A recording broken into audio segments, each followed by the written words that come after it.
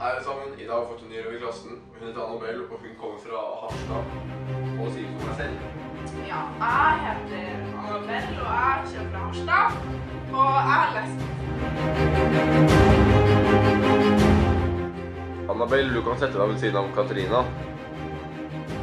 Men du, kan du hjelpe meg med den oppgaven?